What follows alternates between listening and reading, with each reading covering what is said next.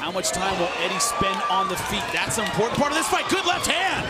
Chandler is in the black trunks. Then Chandler oh, he got him. in the white trunks. He hurt him bad. Chandler He's... letting go. Alvarez in all sorts of trouble trying to hold on. Oh, good right hand by Eddie. Troy Wall was second.